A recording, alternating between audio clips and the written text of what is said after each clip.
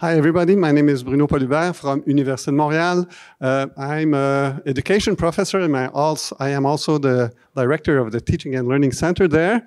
So uh, actually, there's been lots of talks about digital transformation in the last years. And uh, just uh, actually yesterday uh, has been launched an initiative in Canada on digital transformation.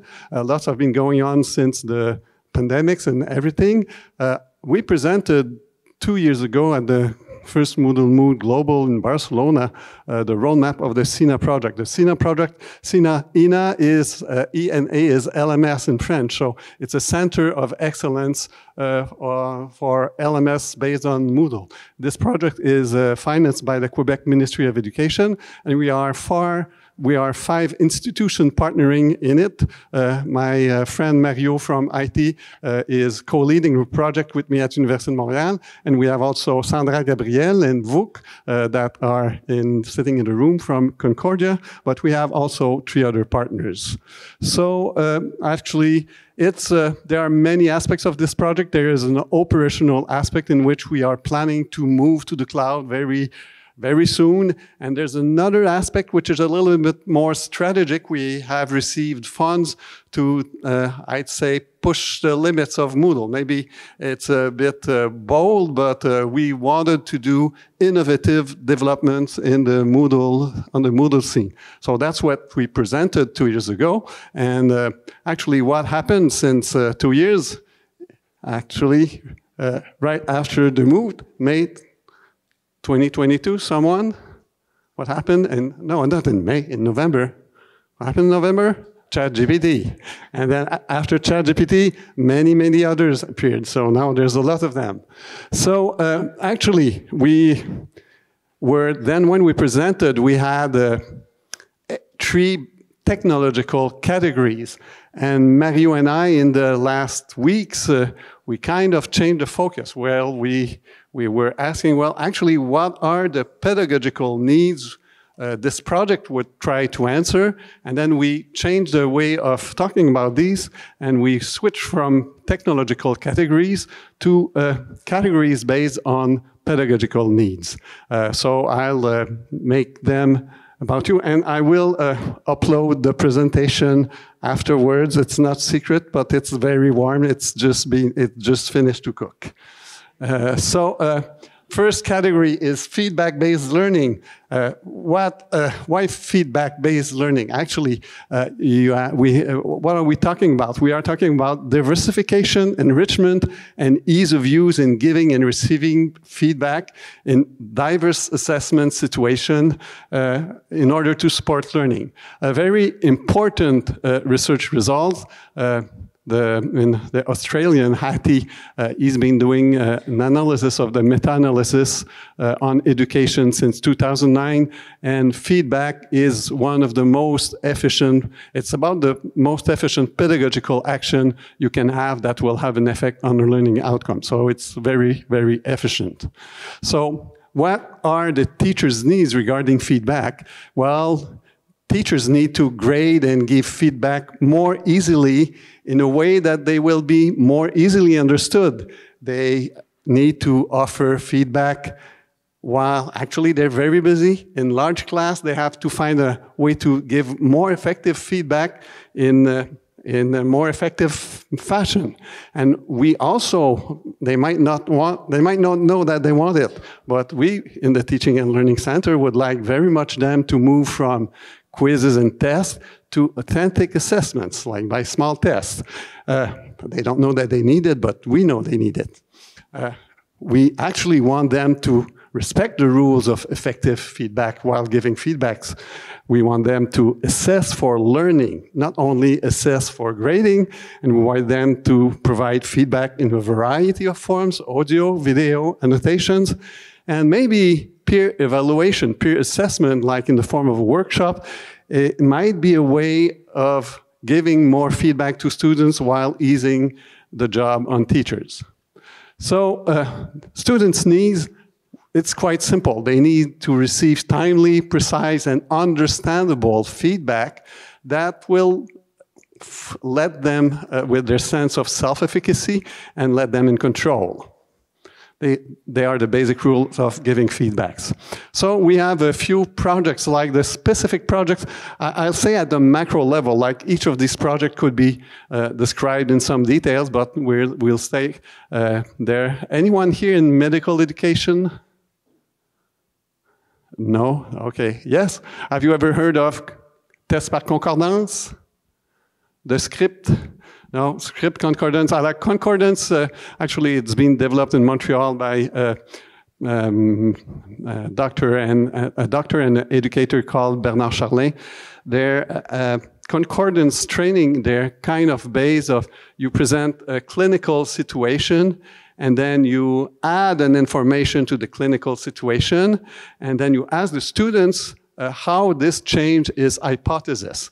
Uh, and actually, the student gives his answer, and then he compares his answer to the answers of a panel of experts. So you have four or five experts in the field, and they don't always totally agree. And the interesting thing is that the students they can compare their own answers and justification to the ones of the expert. And there's one answer that is usually more right than the others in the sense that it's more consensual, but you have also divergent answers that could be uh, plausible. So the student, it's a very, it's a, a way of giving him uh, or her qualitative feedback. Uh, actually, we've been uh, talking about workshop. Uh, I, the, actually, the most effective workshop, and there was an interesting presentation this morning on the workshop, and uh, uh, uh, I'd say the, the, the critical piece in the workshop activity is actually to have the the graders uh, evaluated the quality of the assessment by the assessors has to be assessed. And this is one presentation actually we had in uh, uh, late uh, late morning this uh, this morning at Purdue University.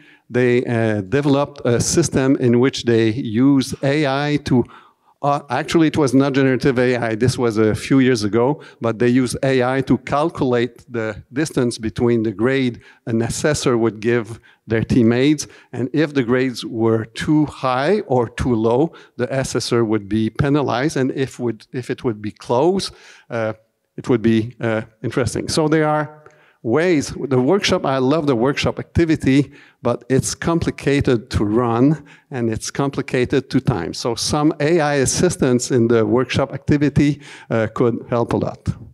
Uh, portfolio integration with competency-based component, and now I'm looking at Christina. We heard a little bit, actually we heard about that yesterday. Uh, I think uh, we Mahara is very interesting and the competency-based component in Moodle is very interesting. So the question is a little bit, how can we integrate both effectively? And then uh, maybe uh, advanced learning feedback functionalities, portfolio integration. Sorry about that. I, the, this was repeated, so repetition. So the second category of needs is AI-assisted feedback and guidance. Actually, it's basically the same needs. So we have the same needs as the one I presented earlier, but we add one to we add one small thing to this. The small thing we add is that uh, what we learned from adoption model, the first adoption model, the TAM by Davis 1989, the drivers of adoption are two things perceived usefulness and ease, perceived ease of use. And all the following models, the TAM2, the TAM3, the UTAUT, are basically relying on the, these two main components. So ease of use, ease of use is determined by usability, but it's uh, determined by also support and training. So uh, actually, the real need for students is receiving technical support while using Moodle. In our university, we are not allowed to support students. Like we ask resource, am I recorded?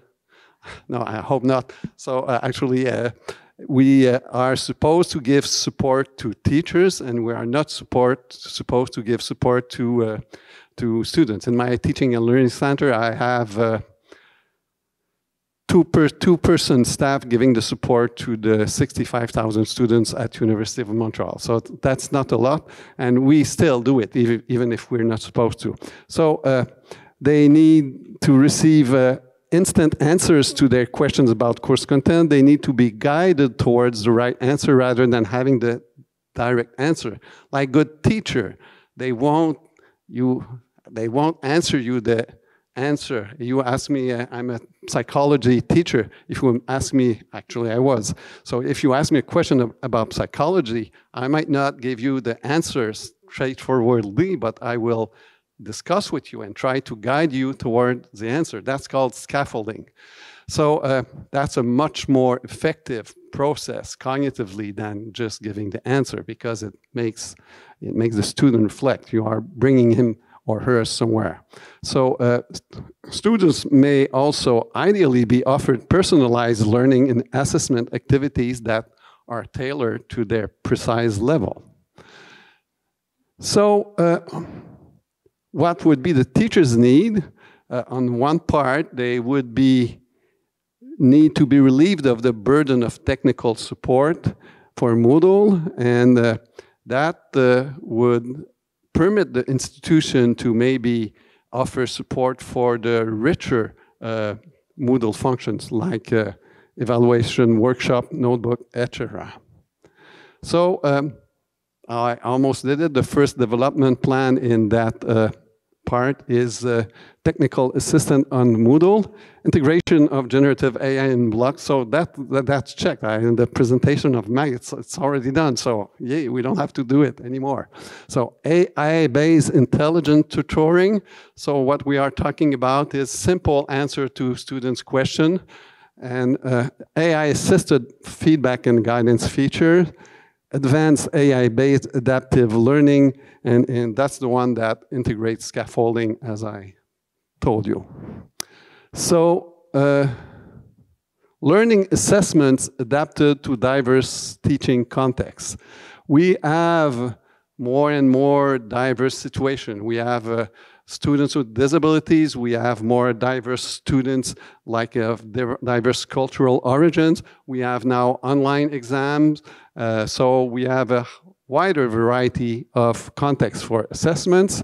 Students' needs is that they are able to take their exams seamlessly, easily, follow the instructions, and not lose their work uh, while they are losing a connection. They need also teachers in a lot of courses still use uh, paper, uh, pen and paper copies for assignments. So this is a need that needs to be addressed. It, everything is not uh, digital. Teachers need, well, they need to control which resources students can access during exams. They need to seamlessly and easily access digital copy of pen and paper work. And they also very much need to have a more efficient workflow, uh, especially for text-based assessment and for large groups. Maybe AI could be uh, of use. So uh, actually, uh, uh, Concordia with Catalyst developed a few years ago uh, something called the COLE system. At University of Montreal, we are working on a program to, to, to get a better usability and better functionality around safe exam browsers and browsers and other things. So we, in the CENA project, we are kind of merging the two. And the second development is integration of proctoring. So that's uh, what is done by the COLE exam system and some of the enhancement we are planning. Uh, fourth category is AI enhanced dashboard. I'm, I'm good in time. So uh, what are we talking about? Well, the basic needs is students engagement, persistence, learning, success, and we are adding to that well-being. Uh, students need uh, to use a system. Actually, it's interesting. We ran interviews.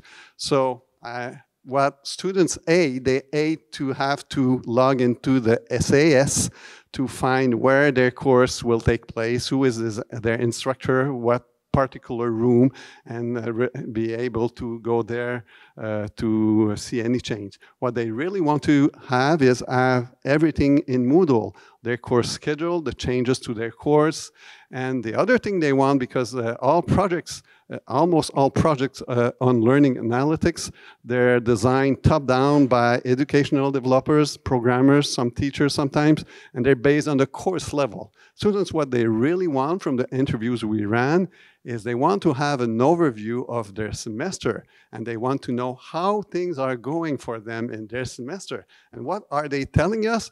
They want to they want us through the, the dashboard to help them regulate. That's fantastic. That's really interesting.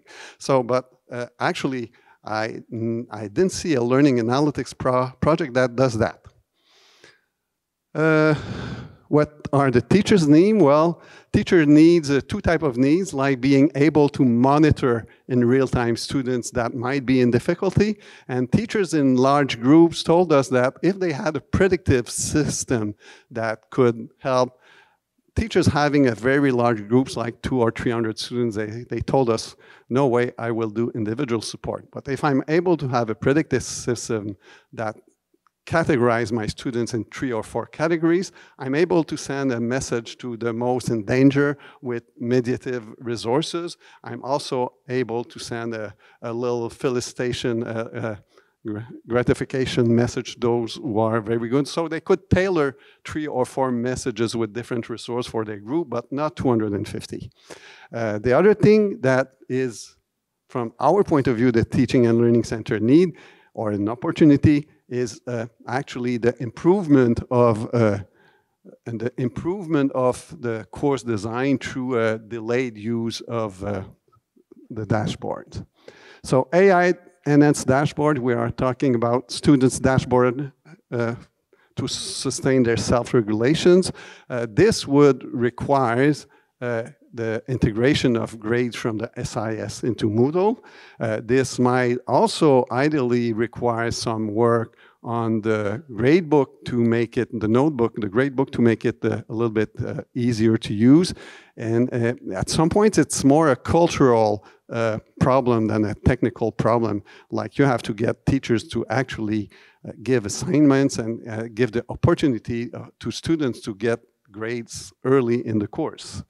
So uh, we need to have integration of course exam and schedule. And uh, actually, uh, we we have a project, sub-project, which is integration of the teacher's dashboard based on a project called ACE. And now I'm going to tell you a little bit about this. We are partnering with University of Canterbury, which uh, developed a program called ACE for Active Course analytics for course engagement uh, with the collaboration of Catalyst. So ACE, uh, there are three parts. Uh, the ACE students part is relying on the engagement indicator, indicator um, relying on the CO community of inquiry framework. And uh, actually, uh, you can have automatized email uh, to students. They can see their level of engagement. They can see the upcoming assessment, the time they spent on the course, the top five activities. Uh, the, you can have a comparison for the teacher between uh, users engagement in the course this year and the one last year. Uh, you can filter for some particular groups and this, for example, for the first people uh, in New Zealand, we see in that graph that their level of engagement actually is not lower than the others. It's actually, actually they engage sooner in the course. So teachers, it changed their view. They, they understood that these two type of students uh, actually were engaging, but they needed more support.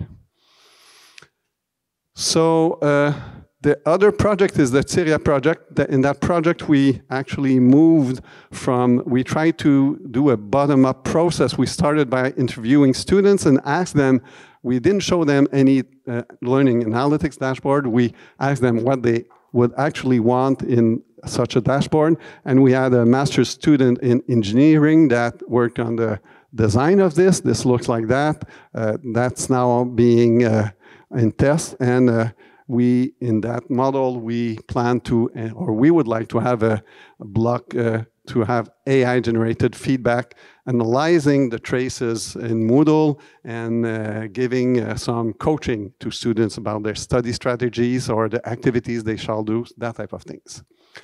AI assisted course and program design, development and improvement. Uh, this is still addressing the needs of student engagement, persistent learning, success and well-being.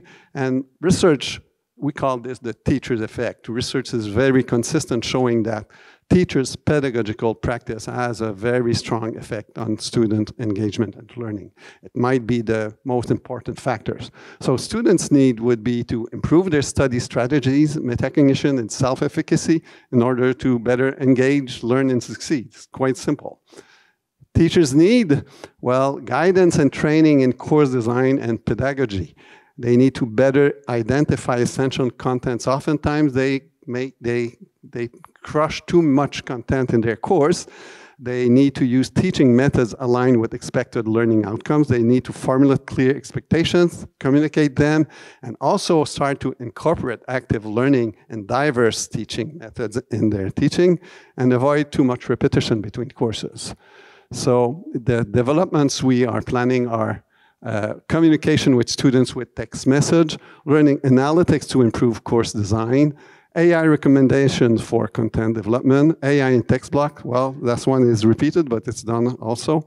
Integrated syllabus at the program level, permitting curriculum mapping. And I saw a presentation on that yesterday. That was really great. Intelligent pedagogical assistant. And now uh, we'll have uh, some interaction but we'll do the traditional, I plan for electronic voting, but time is running on, and I go the hand voting. So uh, I'll show you again. Uh, we'll do a little exercise here. Uh, we like teachers to be able to formulate pedagogical objectives, so learning objectives. I let, I let you read the four, and you choose in your mind what you think is the best for, what is among the, amongst the four, what is the best so I leave you 15 seconds for that. So we'll, go, we'll do it the good old way with the hand raised instead of, I planned for a clap, but actually I planned both. So time's up. So who votes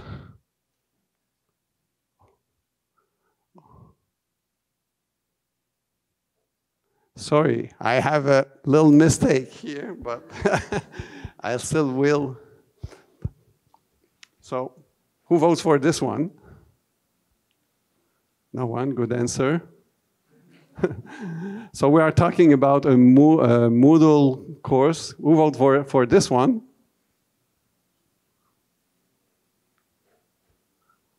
Who votes for this one? Who votes for this one? No one.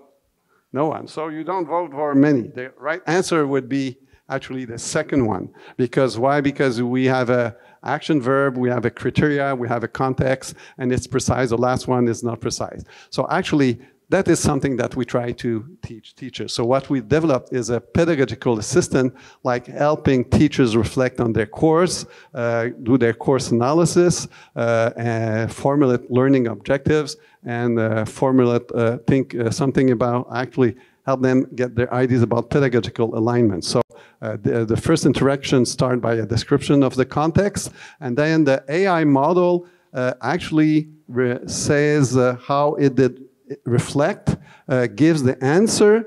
Uh, the question I answered is what are the main challenges I will have in that course, could give me also solutions. And actually, uh, then second phase, I ask him to formulate learning objectives for me.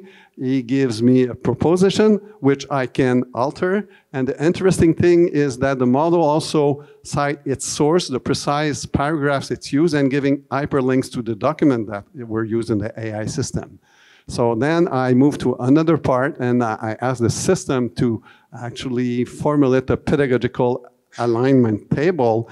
And this is once I have my learning objectives and it gives me a very interesting, this is something teachers has a, have a hard time to do. I'm sorry it's in French. I wanted to translate it with Sandra's course, but we didn't find time or connection to do it. And the real interesting thing is that when uh, you have activities that are a high level in the Bloom taxonomy, it will give suggestion at the appropriate level. Like it does not suggest for creation to have uh, lectures. It suggests to have uh, prototypes like peer learning and that type of things. So it's very interesting.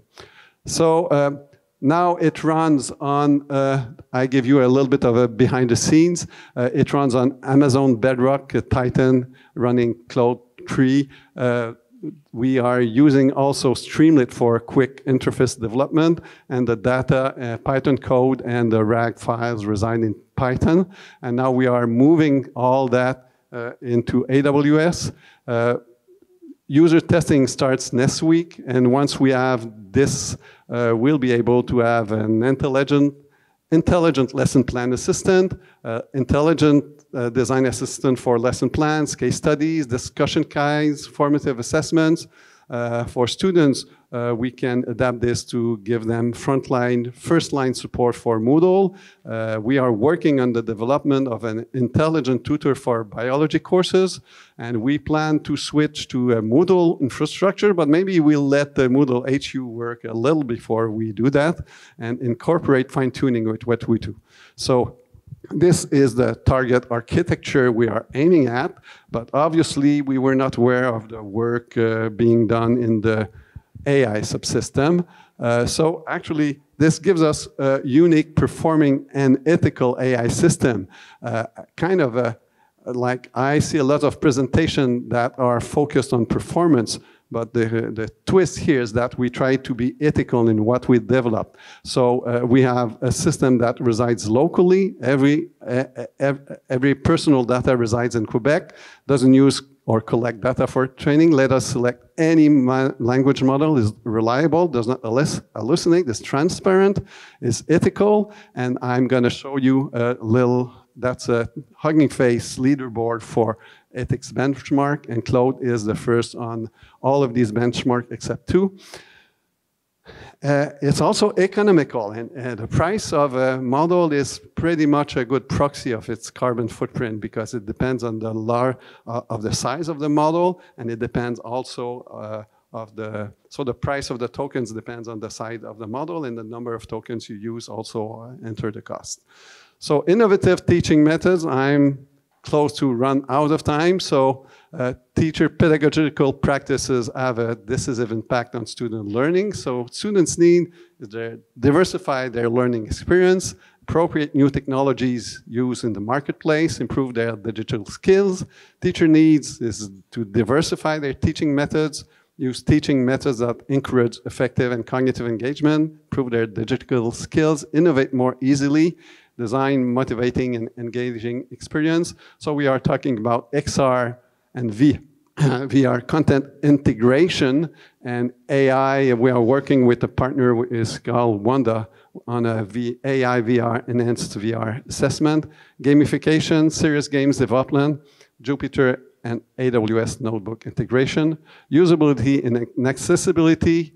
Uh, I go fast for this one institutions need to encourage Moodle adoption to a more user-friendly interface to comply also with accessibility legislation. Teachers needs to same the thing. They need to give more inclusive course, and uh, we are talking about the EDI application layer, better usability everywhere, and I know that Moodle HQ is doing a lot of work on many of these aspects. We need also maybe an accessibility layer, maybe speech synthesis. Uh, last uh, but not least, digital course, digital course content management. Uh, the need is uh, actually, especially for activities and resources used in many courses, to have them all in one place so that you don't have to update them in many places. So, uh, so, so, so what would be your priorities? And uh, I will go the, through the, actually, the man, hands vote. Who vote for feedback-based learning? That's a bon, a few one. Who votes for AI-assisted feedback and guidance feature? A bit more. Who votes for learning assessments adapted to diverse teaching contexts? A few who vote for AI enhanced dashboard. This one gains more. Improving course and programs with the help of AI. This one a bit more. Innovative teaching methods. usability and accessibility, digital course content management. So like we have uh, four and five leading the board, so that's the process we're in now. Uh, we are actually not only open to collaborations, but we are actually actively seeking them. So you can contact me or my friend Mario, and you'll be welcome if you are working on some of these things or interested to partner with us to do. We'll be very happy to do so.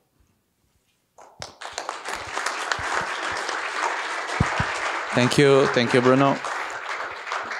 Uh, I think we have, well, we're running out of time, but I think we have time for just one quick question, if you guys have some something. Uh, there? Yes. Thank you. Um, thoroughly enjoyed the presentation.